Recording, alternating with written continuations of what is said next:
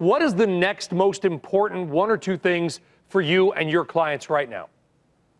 Well, I think the thing that really hangs over as a cloud um, going forward is what's happening in Europe, the slowdown that's taking place. You have Italy in recession, Germany very close to recession, and uh, you have Brexit coming up, which, you know, less than two months out, there's just a report that says that. Uh, uh, that Britain is really completely unprepared for a no deal Brexit. Now, I think the most likely outcome, therefore, is that they kick the can down the road, that they actually delay Brexit. Nobody wants to say that right now because it's politically toxic to say, but I think that's the most likely outcome. So, in the in the weeks ahead, um, I think that there's going to be some news out of Europe that that uh, keeps people nervous about markets going forward, even though we have seen um, some positive news or at least some relief some, some, from some of the fears that we had in December. We had a pretty good start to the year. I mean, it's been, been very solid. We're seeing the Russell 2000, the small caps, up more than 11%. The Dow Jones Industrial Average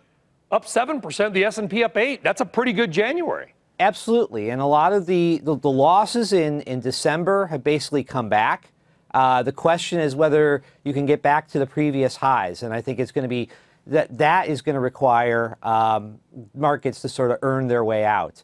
Um, but a lot of look, a lot of the fears that people were worried about in December have at least receded. The the idea that we were sta- the U.S. is standing on the brink of a recession, I don't think that held much water. But now that's become clear that that's not true with the goods jobs data and things like that. Uh, there was a lot of concern that the Fed was going to push the U.S uh, into recession by raising too aggressively. The Fed has sent signals that it is not going to do that.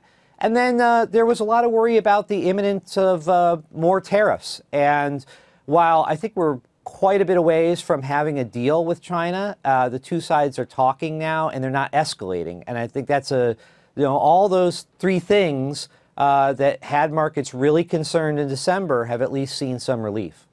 Someone said to you, Patrick, make the bull case for the market this year. What's the single best thing this equity market has going for it right now? Don't say Tom Brady. Continued earnings growth. Um, it'll be slower than last year for a whole bunch of different reasons, but uh, not not negative. I mean, unless some things change, uh, we're going to see continued positive growth, and and given that, uh, we we are at much lower valuations than we saw at the peak of last year. And so uh, this market has has the ability to creep its way forward. I don't think you're going to see a big surge. I think it's going to have to demonstrate that those earnings really are there, and there are going to be things like Europe that rattle people's cages. But uh, you know, slow and steady progress is is better than leaping ahead and then falling falling back.